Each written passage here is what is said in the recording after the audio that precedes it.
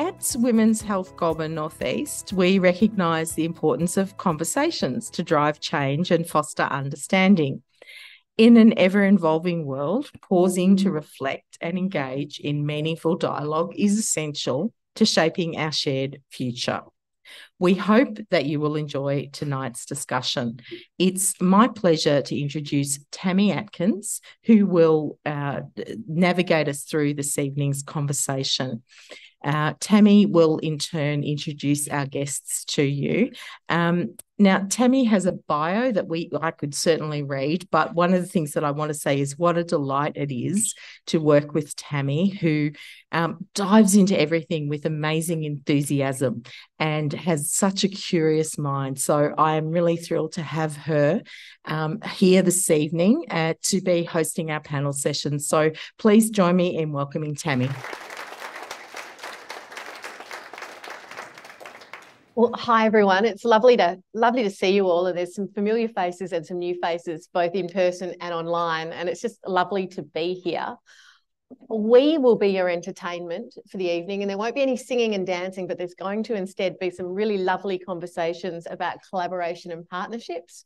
Perhaps a little bit about taking, going from ideation right through to action, and about working with community and working with other stakeholders to really make make a difference out on the ground. So I'm looking forward to the learnings and the tips and perhaps some of the warnings as well as they all advice would be appreciated. But without any further ado, let me introduce our extraordinary panel of uh, people tonight. Thank you very much for having us. Uh, firstly, Lee Coller. Uh, Lee hails from Goulburn Valley Health Public Health Unit and she has a decade in health promotion and prevention of chronic disease, focusing on partnerships to up uplift regional wellbeing. With a focus on and a passion for community health, she addresses systemic challenges, championing healthy lifestyles and equal opportunities. It's sounding pretty good so far, Lee. And through a strategic lens, she understands the pivotal role collaborations play in determining the future of our rural and regional communities. So please join me in welcoming Lee to the panel. Dr. Adele Murdolo made it up the Hume today, and we're so grateful that you've come and you've joined us for this evening. First time in Benalla, so um, I think I'm pretty sure she's going to come back, which is great. Adele is the CEO of the Multicultural Centre for Women's Health, Victoria's leading organisation dedicated to the health of migrant and refugee women. And one of the many projects she's been coordinating is the Women Project, which I'm sure we'll hear a little bit about tonight, and which has been working with rural and refugee women to provide health education in over 20 languages, including with women in communities in Wodonga and Shepparton, so in our region as well, which is pretty exciting. Please join me in welcoming Adele. And Dr. Rowan O'Hagan, who many of us will already know, uh, Dr. Rowan O'Hagan is a regional economist currently working in rural health research. She holds leadership roles at Northeast Health Wangaratta and Albury Wodonga Health, and she's a passionate advocate for regional Australians, having co-founded several sustainability and women's empowerment initiatives, many of which I think some of us here in the room have been part of. So Rowan, thank you for joining us. So this is how it's going to work. Uh, I'm going to ask each of our speakers to speak for a little while, talk about their background, provide some advice and some learnings for us. Then I've got one specific question for each panelist. And then we've got some questions overall. Then we're going to throw to the floor and online. And we'd love your questions and perhaps some of even what your learnings are and your collaborations, because there's nothing better than conversations and dialogue. And that's what really makes Women's Health Goulburn North East quite special, I think. So, Lee, I'm going to hand over to you. Please tell us all about partnerships, collaboration, and some of what you've learned over the years. Sure. Okay. Thank you. Thank you so much for having me. Um, thank you for the invitation, Amanda. It's a real honour to be uh, amongst um, some a group of fabulous women and people online as well. Uh, I uh, it's wonderful celebration of 30 years um, of women's health and so also uh, like to congratulate them for uh, that achievement as well. I think as uh, the president chair uh, stated you know we've come a long way but there's still a long way to go. So um, it's great to be here. So my uh, background as uh, tammy said is 10 years in health promotion and prevention, doing a range of things. I did study um, economics, so you know um, I've got that um, somewhere back a, a, few years ago now. But um, my, I originated with the primary care partnerships, and some of you would be familiar with uh, the primary care partnerships. There was 28 of those across the state uh, over 20 years, and um, as their name uh, states, primary care partnerships. That's pretty much what we were built on. Um, very, there's a few of us, a few people in the room who were quite closely connected, and particularly in regional uh, Victoria, really valuable because, as we know, we can't do any of this alone, and we certainly can't do it as an individual um, and we can't do it as one organisation. It's so important to have um, partnerships. And uh, what was achieved in the primary care partnership years was um, the partnerships. In you've got small amount of resources. We might have had um, three or four part-time staff and a full-time staff member, and um, yet we could achieve a lot because we had such fabulous partners. So um, uh, for ten. Uh, under 10 years the primary i worked with the primary care partnership and uh, more recently um, the last 18 months the primary care partnership work transitioned over to the public health units and there's nine of those across the state and interestingly I, at first i thought oh what, what how sitting under a hospital is this going to be helpful um, you know for prevention and um, uh, i have found that um, hospitals uh, um, do have and are paid for um, providing service um, when people are uh, unwell, and yet health promotion and prevention is so important. Um, we prefer that people weren't using the hospitals, so it's a bit of a um, uh, a, a, hard task. But what I did realise is the public health units were actually set up during COVID. Uh, and they were in response um, with contact tracing, uh, providing information and vaccinations. And the Department of Health realised it couldn't do that from Melbourne and manage such a large scale um, uh, health issue. And so that's uh, when the nine uh, public health units were set up. And um, and it was their regional connections, their partnerships that um, helped throughout that pandemic. It was their connections. It was uh, everyone worked tirelessly. I think um, I have shivers when I think of COVID times. However, um, that was the beginning of the public health units, and as they transitioned out of uh, responding to COVID, um, they brought um, in this health promotion prevention arm, which is really exciting. Uh, and we've been working on a strategic plan, um, population health plan, a catchment plan uh, uh for the next six years, and endorsed by the GV Health. And, and it's a real shift for them because it, it is about uh, prevention of chronic disease, it is about health promotion, and um, it is about partnerships. So um, again, we have a small team, and it's not going to be the small team in public health unit, and it's not going to be GV Health uh, that helps uh, communities' well-being. It's going to be um, everyone as a collective. We have to, as we know, um, from the people in the room and all the walks of life that we're part of, it's all of us together that are going to make a difference. Fantastic. Thank you so much, Lee. That was great. Adele, I'll hand over to you now. Thank you, Tammy, and um, thanks so much for inviting me here. I'm really, I've really enjoyed myself here. Um, we went and had a lovely walk on the lake earlier today, so it's um, such a pleasure to be here. Um, so, Multicultural Centre for Women's Health is Victoria's statewide um, migrant and refugee women's health organisation. Uh, we've been going for 45 years this year. So, we set up in 1978. Um, so, uh, Women's Health uh, Goulburn North Northeast is um, we're middle aged, and you guys are just like really, you know, um, kind of young at the beginning. Um, so we um, are run by and for migrant and refugee women, and uh, we run a whole ho- host of um, different programs. One of them, and that's our was our kind of um, very first program that we had, was um, delivering in language education to migrant women in factories in the 1970s, late 1970s, um, about contraception.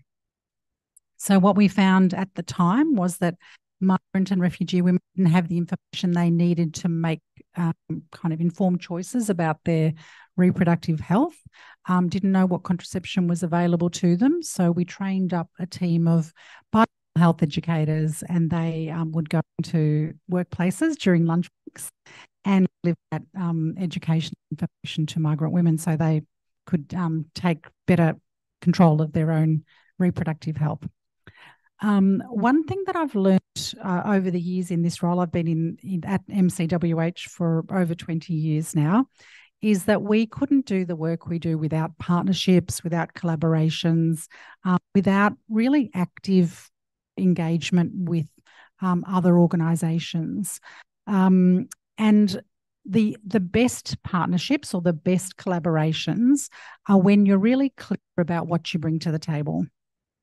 So we know that um, we've got a specialisation in migrant and refugee women's health, and um, we love to partner with other organisations that bring something different. You know that there's um, something that we need. So with um, Women's Health Goulburn Northeast, that specialisation in rural women's health, um, that enables us to have a partnership where we're both really clear about what we bring to the table, and that combination of what we bring to the table um, is the really important thing.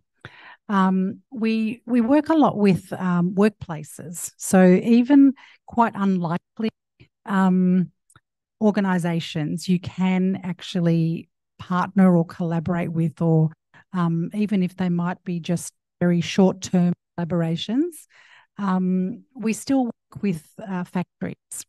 Um, and we still go and visit women in their workplaces where migrant women are employed. And one of the things we find um, is that w- we go in, we deliver education about a whole range of different topics, um, including family violence. And um, that's been the one issue where we've had so much engagement from employers themselves. So we hear, thank you, from women, you know, that they're um, experiencing family violence or they need support for family violence, and we're able to um, refer them to where, uh, you know, they really want to go for services. But then we work with the employer. And what they often need are policies, what they often need are referral services. You know, they can often pick up when there's an issue workplace and they just don't know what to do. So um, that's also a, fantastic engagement with workplaces. Um, and we've had so many um, fantastic discussions with HR people and other um, people in workplaces where they want to do what's right for their employees. Um, and and that's also something that we're able to work together with them on. So sometimes you find your collaboration in the most unlikely who would have thought. Yeah, definitely would say that uh, without collaborations, none of us would be able to do our jobs. Goulburn Valley Health, so a regional organisation, a statewide organisation. And now, Rowan, you've been involved in some national um, initiatives in the women's empowerment space, sustainability. Tell us a little bit. Gosh, you're, you're putting me on the spot. And it's like you've got a relay um, baton there, so we could do a run later. It's a mega one. well, first of all, thanks again, again to everyone for um, the privilege of being here tonight and being part of this wonderful panel. Thanks to Women's Health and everyone here for coming along. Um, yes, I've worked uh, in research as a researcher for several decades. I started in agricultural research and then um, got interested in rural communities, um, women in agriculture, rural business and farm business and the impact of uh, climate change on communities. And over that time, you know, my research interests and my social networks actually sort of m- melded together. And I found that that's been a fantastic way to to live and understand my my place in the world and my place in the community. Um, I was going to talk a little bit about um, evidence, but I might maybe talk about that a little bit later. In terms of the organisations that I've been involved with, um, is Australian Women in Agriculture is one of the um, is the peak organisation for women uh, in agriculture in Australia, and it's been going for nearly thirty years now as well. Started in 1994. So my involvement there was very much about um, thinking about the disadvantage and the social isolation that women in agriculture had and the discrimination in the workplace, um, both in family businesses and in other parts of agriculture. Uh, and that was born very much as a feminist organisation to um, to empower rural women to take their rightful place in the in the industry. Um, in terms of sustainability, I've been involved in um, the Wangaratta Sustainability Network and the Northeast Regional Sustainability Alliance. And again, it's another situation where you could see that um, there was action that needed to be taken, and there are willing people to who were keen to get together and take that action. And uh, that's been going for quite a few years now as well. And again, it's it's a it's an opportunity for people to be connected in their communities and take action in their own space and place. Thanks, Rowan. Uh, that was just wonderful.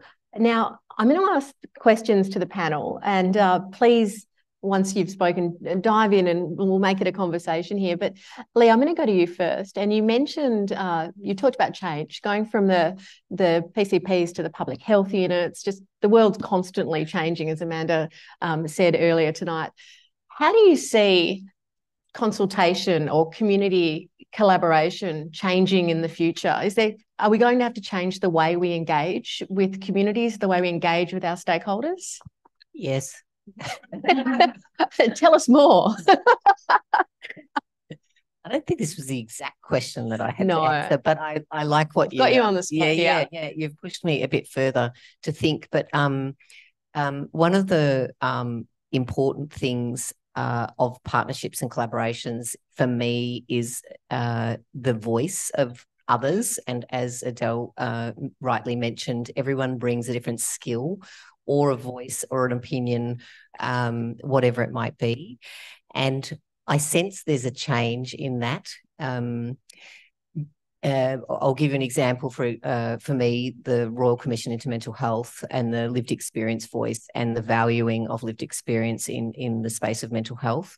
Uh, that's been a really um, and that's a partnership with people um, with lived experience and making sure they're part of that conversation. And I don't know, look, and there's, of course, there's always, it's never a smooth path, you know, um, there's talk about paying people um, for their voice, which is very important. But in a rural um, setting, then uh, where you have um, community groups who are advocating or whatever, what about them? Shouldn't they be paid? So anyway, of course, it's never quite as smooth um, as that. But I do see that shifting uh, that value of the lived experience voice, um, particularly um, people. If you if you're addressing a particular health condition or whatever it might be, if it's um, mental ill health or whatever, you to have that voice.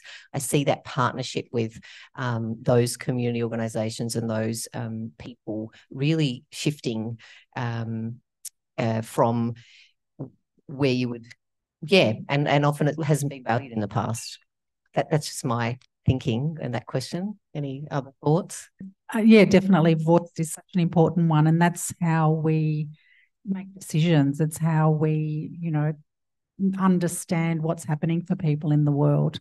Um, and I guess the important thing is too uh, is really making sure that we've got equitable mechanisms for different voices to be heard, um, especially people who are marginalised. And um, with the, the group that we work with, with migrant and refugee women, it's often very complex getting migrant refugee women's voices to the table because of the language barrier.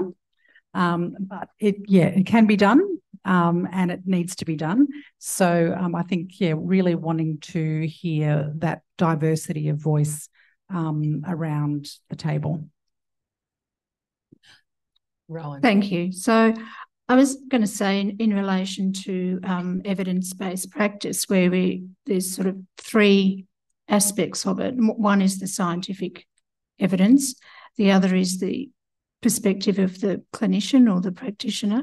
And of course, the other then is what the consumer preference is and what, and that's where I think that um, increased highlighting of lived experience and and where consumers can when I use the term consumers, I mean, you know, pa- patients, clients, whatever, um, community members, um, their contribution can be just so much more um, significant. And I think that has been quite a major shift over the last period of time to, br- to bring that um, voice to the fore. Something we're certainly um, working very hard on it in the health sector. um, the acute health sector um, to you know bring bringing the consumer focus into everything we do and into our research as well. The other thing I think that needs to, as I said, it, it doesn't always the systems have to be there to support those voices and um, it, it, often there's power imbalances and those sorts of things and you know because i'm not involved in the acute it, um, you know even in the development of new programs initiatives or those systems have to be in place to support those voices and um, you know there's work to be done um, on that but i think that's where where um, where we can really improve Thanks so much. So we're going to see some dynamic and innovative models, I guess, and approaches moving forward. Adele, I've got a question for you about the Women Project. Now, that kind of stands out as an, a, beacon of inclusivity, and you've been rolling that out statewide, which must be a monumental effort. But also, can here in Shep, sorry in Shepparton down the road, and then up in Wodonga as well. Can you give us some examples of how that project's making a tangible difference to the lives of uh, refugee and migrant women in our region? Sure. So I love the Women Project. Um, it's a statewide project that MCWH has been running with seven of the regional women's health services, and Goulburn um, Women's Health Goulburn Northeast is one. Um, so basically, it's a program where uh, bilingual health educators are recruited and based within uh, the Women's Health Service in local areas. And then MCWH plays a role in training those educators um, using this accredited course that we have. So it's a very comprehensive course and um, it really supports uh, trainees to understand how to deliver health education in your language on a whole range of issues. Um, the Women Project, when it first started out, was also a COVID initiative. Um, so we started out training all the health educators on how to deliver um, COVID information to communities. And the reason for it because those communities were really missing out. So, um, for anyone who lived through COVID, we know that migrant communities were um, disproportionately impacted by COVID. They had lower levels of access to vaccinations, were less likely to be vaccinated, more likely to be infected for a whole range of reasons. So, the Women Project was initially set up to um, just cover COVID. But um, along with COVID, we also trained educators up to deliver additional information. Um, and that was really important because you you often go to a group and say, "Look, I can give you some information on COVID," and they say, "I know everything about COVID," um, even if they don't. But if you're there to deliver a, a kind of program of information about issues that the women themselves have told you they're interested in, then you can weave COVID information in into it as well. So that's what we did. We trained up educators, and then those educators went out and did two different types of activities. One was community engagement. So it was really about going out and getting to know people in ethno specific organisations or other multicultural organisations, letting them know what we can deliver. And then the second activity was actually delivering health education. So, on a statewide level in 2022, um, we reached over 3,000 women across the state um, through 162 sessions. So um, I'm, I'm really proud of that. But what did Women's Health Goulburn Northeast? Where are you? I've got the number for Women's Health Goulburn Northeast. Oh, here we go. Um, so Women's Health Goulburn Northeast delivered 15 sessions um, and they worked with 282 women from six different cultural groups. So almost 10% of the whole statewide um, kind of number was at Women's Health Goulburn Northeast. So that's phenomenal job. Um, they, what did it achieve? It achieves some amazing things. So I can give you a case study um, that was provided to me from um, the staff at Women's Health Goulburn Northeast. They did a, a program with a group of 16 women. And out of the 16 women um, who hadn't yet been vaccinated, 12 of them after the session did go off and get vaccinated. So that's amazing. And not only that, 13 of their children went off. And I mean, so they went and um, arranged vaccinations for 13 of their children. Um, so a total of 25 people who otherwise would not have been vaccinated had the information they needed to make an informed choice about whether or not they would be vaccinated. Um, but there were also some secondary outcomes. So for us with that program, that was the main game, but the secondary outcomes were also really important. So not only did they receive health information in their language on COVID 19, but they also knew where to seek information on other topics. So even if they didn't need breast screening or even if they didn't need menopause information at that time, they knew where to go. They knew to go to um, the staff at Women's Health Goulburn Northeast. The women developed a better understanding of the health system. So some women were saying that um, you know they didn't realise that you could get an interpreter just to have a vaccination, and they they learnt that. Um, there was also something that is really difficult to quantify, but an increased trust in the health system. Um, they made an important link with a trained bilingual health educator from their own background who speaks their language, who is also a part of the health system. So that's a, really an important step in engendering trust and understanding and familiarity with the health system. Um, so yeah, I think that there's some amazing outcomes. That's fantastic, thank you. And I guess running it locally and having local people deliver the program as well, there's that added trust from that. Yes, absolutely. That's the key. So as a statewide service, we've we've got our own team of educators, and we would always just go out and deliver. Before the Women Project, we'd you know link with the Women's Health Service, but then our educators would go out and deliver. But the benefit of having a local team is unquantifiable. You know, they're local people, they understand the issues, you can have an ongoing relationship with um, people in the community. So I think that's really the key to um, successful programming. And that's a great segue to my question to Rowan. Rowan, the principle of nothing about us without us. And can you provide some examples where that local evidence base, that local research has really come through and created fabulous programs that have been really inclusive and involved people in community?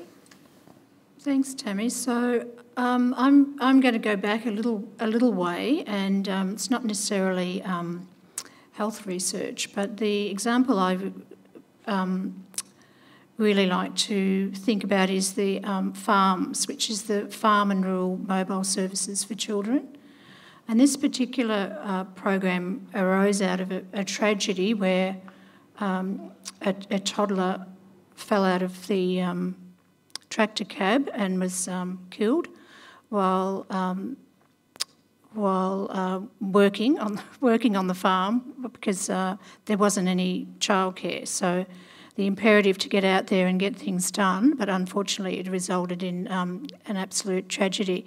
So this is in the early early 90s we're talking here, but um, so local women got together. They uh, received some funding to, to do a needs study on um, childcare for farming women. And they put that together. We, we had a steering committee that went for nearly seven years before we actually moved from, from that research that we did to um, getting the program funded. But that, that program then um, extended over quite a large area across uh, northern Victoria and into the Riverina, and it ran for 22, 22 years and provided um, mobile childcare services in local halls. The other th- talk about spin-offs. Um, the, then there was a program on doing up the local halls because they were using um, they were being used for childcare and getting them up to speed with uh, health and safety and things like that and, and then it's extended to all other types of um, uh, long, long day care as well as um, education programs. So the benefits to those families um, from an economic point of view for uh, enabling the women to work on farm, but also for the families, the social um, interaction and the early learning for those children was just huge. So for me, that's an, an example where um, a group of people can see a need, they can do the research to get the evidence that they can then um, take that and lobby and advocate for funding. Now, the those types of services still happen all, all over Australia. It actually wasn't it wasn't the first one, but it was certainly the first in our region. There, there are a network of those across remote Australia. But unfortunately, the funding for that particular program was um, uh, finished up. We had a, a, member for social services who, uh, sorry, a minister for social services who um, wasn't really interested in delivering social services. So um, it, it is a shame. But I think it is a great example of um, rural women getting together and um, seeing the change that they wanted to see. Rowan, with the networks and the collaborations that we have at the moment, and I guess the, the changes in technology, we're all a lot more connected nowadays. Do you think it would still take seven years to get a project like that up and funded nowadays? Uh, possibly not. We, we did have to do a lot of travel up and down to Melbourne, which we probably um, wouldn't have to do now necessarily. I had to um, make sure that I had a breastfeeding child that I could um, pop out and breastfeed at the appropriate times so that the bureaucrats could understand uh, what, the, what the need was. Um, and so we did have to have a few props, but nevertheless, um, look at. Oh, yes, it was definitely my child, yes.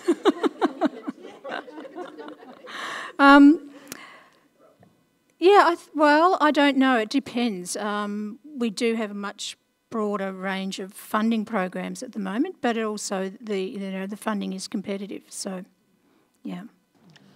Oh, thank you very much. Now, uh, I'll throw this to anyone on the panel, but collaboration is often hailed as the secret to success, to getting something up off the ground. But it does come with some challenges, whether it's having to find, procure a, a breastfeeding child at the last minute or find some props, do the right lobbying to the right person. Can you each share a moment where a partnership or a project faced a significant obstacle and how you collectively navigated in order to, to make that project come to fruition? Do I have to go first? I told you tonight would be wild. Yeah, it's going crazy. Um, it was funny when I saw this question. Um, we did have a little heads up of a few of the questions that might be asked, and um, it got me thinking. Oh God, it feels like an interview. You know, tell me a time that you learned, you know, something from a mistake or a you know challenge or whatever. Anyway, so I did ponder this one. Um, I, I mean, I, I just find partnerships and collaborations so frustrating and yet so rewarding. It's um, I, I love that, that's how I do my work. I wouldn't. I, I don't think I could do it any other way. But um, one that sprung to mind, which is really uh, a, little bit controversial, but well, it's sort of um, we'll throw it out there. Is when we're in the 16 days of activism um, against gender-based violence, uh, which is a campaign that runs uh, in November and December We've had an um, amazing collaboration of um, oh, between 10 and 20 organisations um, for the Murrindindi and Mitchell Shires over the last four years, and uh, they're into their fifth year. Um, and we do an evaluation every year, and we did decide we wanted to include men. And, um, you know, that really threw up. And here we've got Rob in the room and our two cameramen. And, uh, you know, speaking of, I was thinking of this example and thinking of this very thing. Um, and, you know, because we talked about um, as we said, partnerships, it, uh, we need everyone to be involved. And so we talked about how do we get men to, uh, how do we encourage and invite men to be part of, you know, even um, talking about gender equity and, um, you know, family violence. And um, we had, you know, it, it, was a really challenging conversation for, um, and it was really interesting because I don't think we'd ever considered how do we get men involved in the you know, gender equity. And I think, and it challenged a lot of our assumptions. And we, we were really fortunate because there were some men who stepped up, um, you know, a little thinking, well, I'm, I have not been involved in violence. What do I know? And I'm like, well, I haven't either, but what do I know? And, um, you know, but they were really courageous and they stepped up. But I did find we, we in our, during some of our meetings, um, you might remember, we realised that actually we were very exclusive we had this sort of conversation and language and, and a way to speak and what was right and what wasn't. And I, and I think um, some of the feedback from the men was that, um, you know, we weren't being, like, you know, I think our way was the right way. And if they said they were worried that they might say something wrong, and we really um, pondered that for quite some time in terms of how do we deal with this? Is, you know, we've got a great partnership. We've got, you know, but we're coming across really strong. So we've had some good conversations, but I think there's room for more. You know, how do we, um, um, you know, make sure there's a common language and um, and even though we think we've got the right people around the table, um, are we excluding some people and um, that we don't even realise we're doing it? Uh, so yeah, just a, just an interesting uh, challenge that we had um, in that. I don't. Uh, I haven't been around the table this year. I'm not sure if there's any males, but it might be like you, Rob. There might be a um, thank you for coming tonight and being the representative male in the Women's Health Goulburn Northeast AGM. It's great to have you here. I don't know if you want to add anything on that one. Um, yeah, look, I, yeah, I, I, on the men question, I think um, it is really important for men to be involved in preventing violence against women and um, obviously gen- promoting gender equity. Um, I think we need to do it in an evidence based way. So, really be guided by what the evidence is telling us because there is always that risk, I guess, of doing harm. So, um, one of the things that we in the migrant refugee women's space or in the in the multicultural space, there is that stereotype about migrant men being, say, more violent than other men or that culture causing violence and things like that. So I think we really need to develop some guidelines and strategies and ways of actively engaging men making sure that we're continuing to boost the leadership of women in communities as well. Because you know, men, I mean, they're lovely, but they they are lovely, but. Um, you know, they can, in a conversation, sometimes, um, you know, we, we, we tend to focus on them we tend to centralise them, we tend to prioritise them and their feelings and their, and their needs. Um, whereas for this issue, we really need to continue to prioritise women and centralise women and our needs because it's we're talking about violence against women. We're talking about gender equality and, and women are the ones who are oppressed. So um, so I guess just to, to say I'm all for it and I really think we need to do that work to make sure we're doing it in an evidence based way and in a way that does actively engage men in a positive way um, and that has the effect that we want it to have, the impact that we want it to have. Um, so, just on the, the tricky question um, in partnerships, uh, the one that I wanted to mention was um, sometimes, you know, we get lots of requests from researchers. So, um, Rowan, it'd be interesting to hear what you think about this. But um, so researchers in universities will often develop a research project and they approach us to do one little bit of it. So they'll say to us, you know, we want to interview migrant women about, you know, perhaps their, their experiences as seasonal workers, for example. Can you get the women for us so that we can interview them? Um, and maybe you can run the interviews in their language or whatever. So they've got a little component carved out for us, which you know, I mean, that's great. It's better than us not being involved at all. But um, we actually want more. We actually want to be involved in setting the research question, and we want to be involved in collecting the data, and we want to be involved in analysing the data, and we want to be involved in writing up the, the research because we've got this specialist expertise that we want to be woven in throughout the whole project. So um, I guess it's just about then how do we kind of build that in from the beginning of a project where when we're coming from two different places. So academics are coming from a particular way of doing things that historically you know has always been the way. Um, and you know coming to a place where we're both kind of speaking the same language and um, finding the funding as well because funding's limited. Um, there's not always that funding to be able to share between two organisations or three when you're working in partnership. So, um, yeah, I find that really tricky, just getting on the same page with people. But the strategy, I guess, is to start that conversation at a really early point in that partnership and build it in and work together before you actually um, kind of get to that point of applying for funding. Rowan, have you seen plenty of this? Fantastic. Look, um, I think I've gone up again. It's one. Yeah.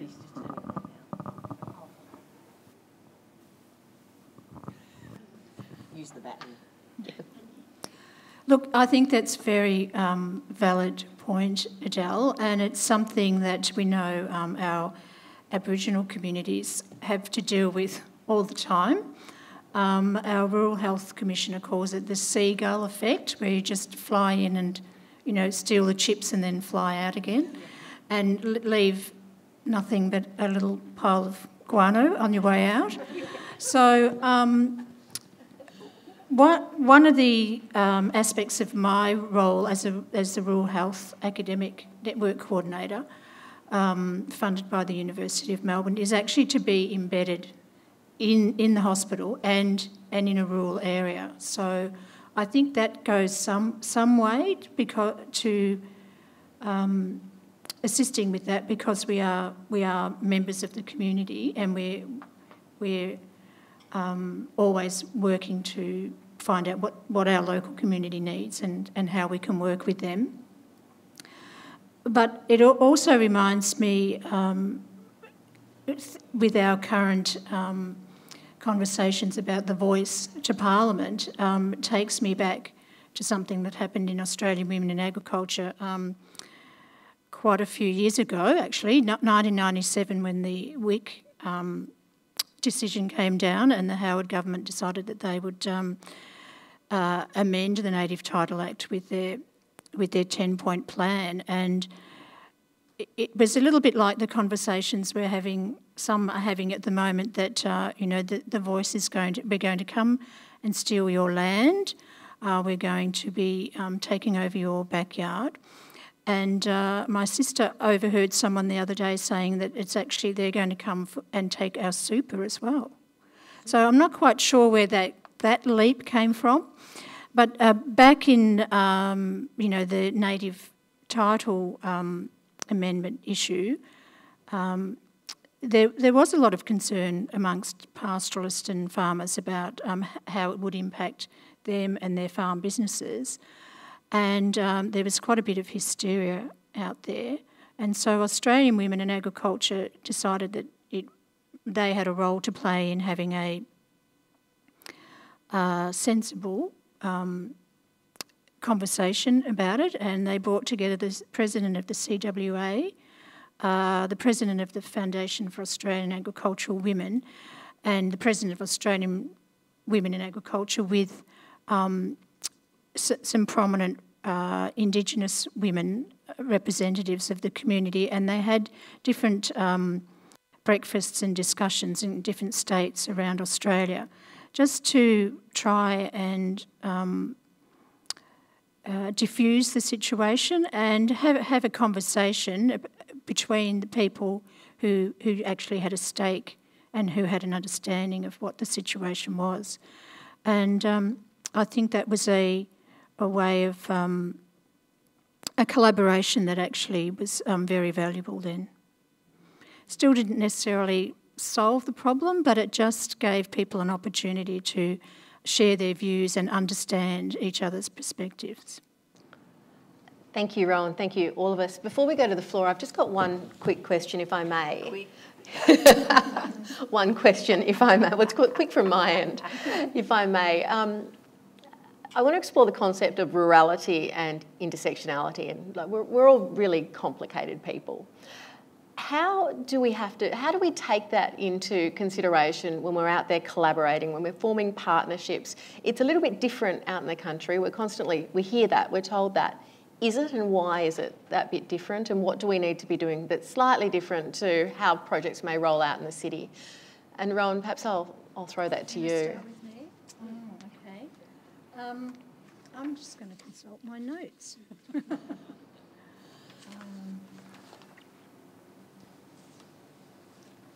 I guess we've got those different elements we need to think of in the rural areas here in, in Victoria and across Australia, but also there's intersectionality at the same time. Yeah. So um, one of our sayings in, in rural health is actually we use the expression if you've seen one rural town, you've seen one rural town. So, in other words, don't, don't presume that all communities are the same. And um, there are communities that get over researched, you know, that people, um, they're the flavour of the month and everyone wants to come in and talk to them. But um, at the same time, I'm thinking of the um, you know the Care Through Disaster project that Women's Health Goulburn Northeast. There's there's also um, very much a place for actually allowing people to ha have the um, space to talk and have their voices heard. So I think um, I think it depends on the situation, but I think never never assume that everybody is is the same. And there are definitely different factors in rural um, communities to metropolitan communities. And some of it is about um, con confidentiality and uh, different power dynamics. And some of these things take a little while for people to, to understand, and it's the, often the local people who can um, help researchers and people wanting to um, assist in health promotion and prevention who the best people are to speak to.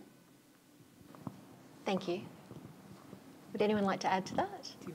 Uh, rurality, um, you know, I've grown up in small country towns and um, I live in Alexandra now, which is an hour and a half from here. And um, uh, you do know everyone and everyone knows everyone. So it is exactly as you said, um, Rowan, that um, we, we sit in meetings um, uh, where people, uh, sexual reproductive health nurses or youth workers say, you know, uh, young women don't want to go into the doctors for the morning after pill or, you know, because they know the doctor and the doctor knows the family and then it's, you know, or they don't, um, uh, you know, so people, everyone knows everyone, so that confidentiality can become a real issue in um, uh, women's health uh, and um, and access to services. Naomi and I have talked about this at length on many topics. Um, access to services is one of the biggest um, um, health issues for um, rural uh, people in general, let alone rural women. Um, and we don't have transport. I live in Alex, there's one bus a day to um, Melbourne or one bus a day to Seymour you know, and then there's small surrounding towns. We do have a great hospital and a great um, a, a, number of um, rural hospitals that do provide a number of great services, but there's people in the rural areas that can't even get to the local um, hospitals um, uh, in a timely manner or whatever it might be. So, um, yeah, there's uh, accessibility is a real um, issue that I've noticed, and sometimes a little outdated ideas. I went to the doctors and um, was talking about menopause, and the doctor just looked at me and he wouldn't even say it. I'm like, you know, maybe it's to do with menopause. He's like, I think we'll just check everything else. Oh, okay, sure, no worries wouldn't even talk to me about it. So, you know, and that could be anywhere, that could be in Metro as well, I don't know, but, um, you know, certainly, and then you're limited with, with the doctors that you get to see and if that's their opinion, um, and then, you know, no matter um, what gender or, or intersectional, um, you know, challenges that you face, um, yeah, there can be some very um, set opinions and then you don't have a lot of choices outside of that, so that's what I wanted to add in terms of rurality, adding to uh, some of our complex challenges? I think no, I, I, don't think I'm very qualified, um, but um, I love to learn from my rural colleagues, and um, yeah, I, I, really appreciate to learning more. And it really un underpins that whole focus of your organisation having those collaborations and those partnerships across the state. So you've got that place-based work. We'll throw it out to the floor. Do we have any questions for our esteemed panel? Don't all rush at once, oh. all right? Now, now it is Amanda, so we'll be ready. How you going? any questions? I've got the roving mic. Thank you. Um, uh, following on from something that you mentioned, Rowan, about one of the organisations that you've been a part of being a feminist organisation. Uh, Women's Health Goulburn Northeast is also a feminist organisation, and I suppose we can probably have a whole panel about discussion about what that means um, in terms of objectives, but also the way the organisation runs and exists. And but my question is, to what extent uh, in the panelists' experience, um, there's probably varied experiences to working in an feminist organisation per se, but to what extent you've collaborating with organisations that consider themselves to be feminist organisations is different to the alternative, and ca- can collaboration be harder when there is, I suppose, a philosophical that philosophical difference, or perhaps it's not, perhaps it's not, um, or to what extent that that, that issue arises. sorry.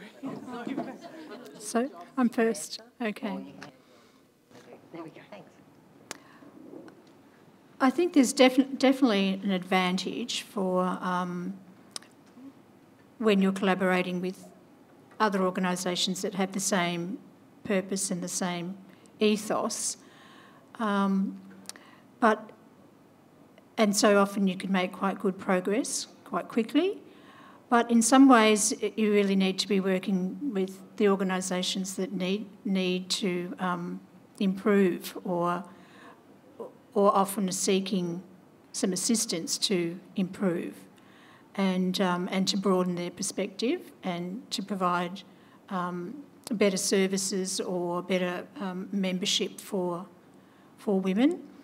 Um, so sometimes it might be a little bit com- more comfortable to actually work with, you know, your your sister feminist organisations, where actually you might be better off, um, you know, challenging the the status quo in some other organisations. Now, obviously, you've got to be, um, you know, choose carefully because um, you might be just banging your head against a, a brick wall.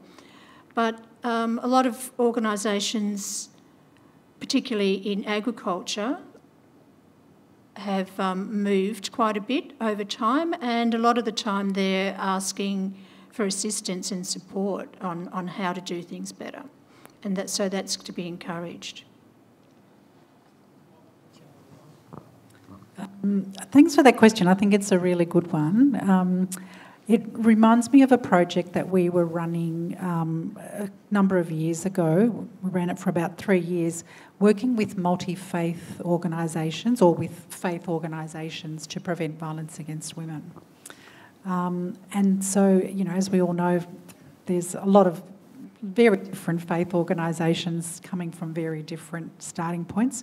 Some of them aren't known for their feminist kind of philosophies.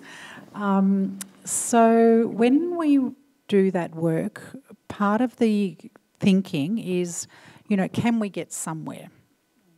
So we know we're not going to get where we really want to get, but can we get somewhere? So there's that thinking, you know, do we think that there's, you know, good, is it um, worthwhile investing some resources into getting to a different place, um, even if we're not going to get where we want to go?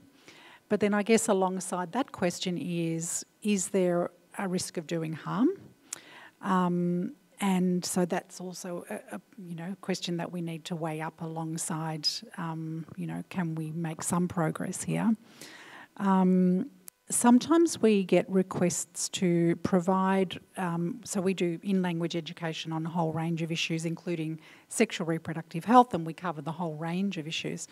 Um, and sometimes we do go to temples and um, mosques and, and other um, kind of religious um, entities because that's where women gather. So we do outreach. Sometimes they'll say to us, we'll have the, the women's health program, but can you leave out the abortion bit or can you leave out the. Um, and so in those circumstances, um, we really try and push the envelope and say, look, it's a whole program, we can't leave out any part of it, and really try to, um, because uh, I guess that's an example of where you could actually do harm. If you're delivering a women's health program to a group of, of women, you're their only way of finding out the information, and you're leaving out you know, you're kind of talking about this is how you get pregnant and all the rest of it, but you're leaving out that very important um, piece of information that actually you don't have to continue with the pregnancy.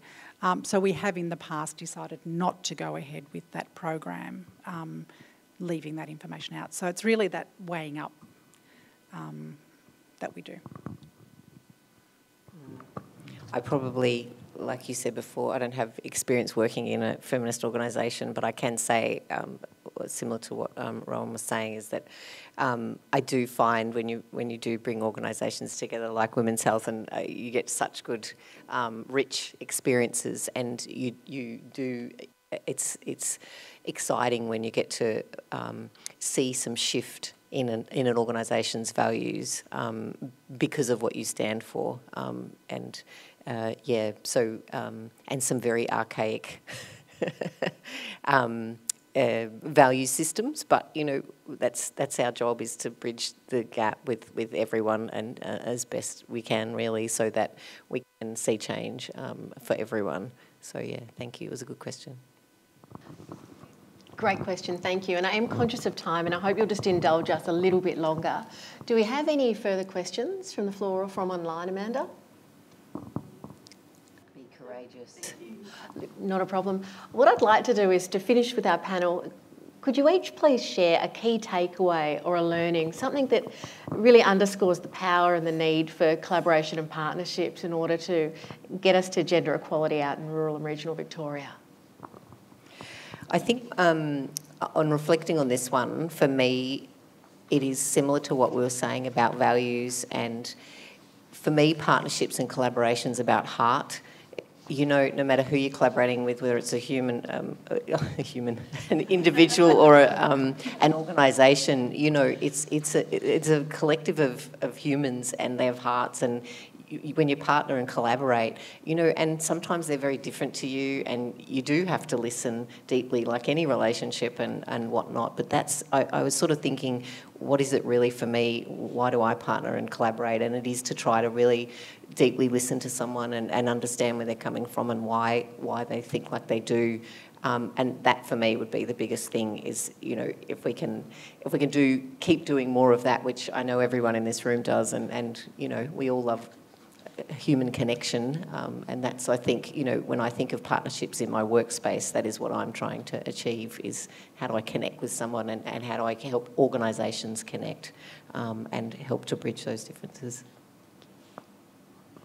Um, I think the the what I want to say here is about the power of the local engagement um, which is why we would partner with rural organisations. We, we can't do that bit.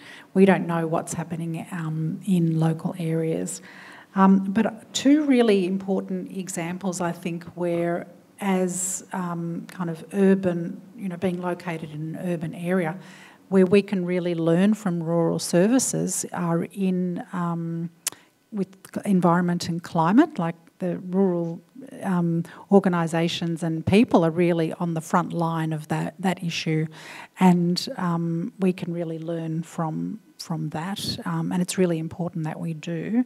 Um, and the second thing is really food systems, and I guess they're related um, because you know people don't really understand where their food comes from, um, and it does. You know, like obviously the the um, farming is so important, but not only that, it's just like the the industry that sits all around farming and um, the the the way, I mean, I'm not articulating it very well, um, but I think that's just something that um, we really need to be able to understand better um, because, you know, with um, disasters happening more frequently, um, uh, you know, people, cost of living um, crises, and food security is going to become a much more important issue for people. Um, so that's they're two issues that I'd really love to be able to kind of um, learn a bit more and partner a bit more with regional organisations. So, um, you mentioned, Lee, about um, being connected, and that was probably my main takeaway. But, um, you know, research has shown over the years that the most successful communities and the ones that are going to have um, more resilience to these climate um, changes that we're going to see are the ones that are, have a high degree of trust and also a, a high sense of belonging. And I think probably um, that the, again the Care Through Disaster project highlights this as well. And so there's there's that uh, human connectedness and, and that trust. But I think there's also the opportunity for different sectors to um, collaborate more closely. And I'm thinking um, about, uh, in particular, Indigo Power, which is a, a, company that came grew out of the desire of the Yackandandah community to um, tackle climate change and become 100% renewable. Um, they provide uh, retail electricity services, but they also partner with um, in the Upper Murray with the bushfire recovery and resilience projects, large infrastructure projects to provide batteries and uh, power and that resilience in, in the face of future disasters. So that's probably an unlikely, um, you know, connection between those, those farming farming communities um, in the Upper Murray and an organisation like Indigo Power. But in fact, they, you know, it's a it's a perfect synergy and a perfect connection. So the my takeaway is about as that building up trust, but also, you know, looking at, at different sectors, looking perhaps a little bit outside the box as to what we might, how we might connect and build that, that power. Thank you very much, uh, Leah, Rowan. It's been a really wonderful conversation, and I think I'm going to take away that uh, connected communities are resilient communities, but every community is different. So if you've seen one rural community, you've seen one rural community. Hence the need for those partnerships, those collaborations, and to keep going out and, and, and talking to people and listening to people, more importantly. Whilst that brings our panel to a close, it certainly doesn't stop our conversation. So the dialogue, the learning, that all happens, and it happens through Women's Health Goulburn Northeast. So the panel's finished for tonight, but the conversation will keep going until we all come back here again next year for next year's AGM. So thank you very much for joining us. And on behalf of us, I guess we'll just say thank you to and congratulations to the Women's Health Goulburn Northeast team on 30 years. Pretty impressive work. We look forward to seeing what you do next. Thank you. Thank you. Thank you so much, Rowan, Adele, Lee, and Tammy. Uh, I just the the reason um, I, I, guess that um, you all came to mind for this evening is because of the partnerships, because of the way that you all you all work, and um, I, I think you know I was reflecting, Rowan, you were one of the first people to reach out to me when I started in my role, and um, so that was wonderful to understand some of the things that were happening in the region. Um, Adele, um, as one of the other 11 women's health CEOs. We've, we've, you've been an amazing support, and I think that's part of partnerships as well, is, is listening to each other and supporting each other. And of course, working more closely with the Women program has been fantastic, so thank you. And, and Lee, you've been to our community of practice. When I first started, the PCPs, I couldn't have done my job without the PCP. I, I just found it was amazing to connect in. And so um, I think it was the day after you started at the public health unit, I get a call from Lee saying, "So how?" Together. it was it was great. So so thank you all for this this evening. It's been just really wonderful. We have a small gift for you, a token to say thank you. These are all from uh, women-owned businesses in our region. Um, so thank you very much. And um, so let's around. Thank you. Thank you all.